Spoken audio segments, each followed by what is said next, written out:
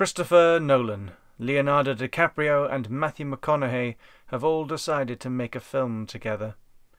Chris Nolan said, I'll direct. Leo DiCaprio said, I'll act.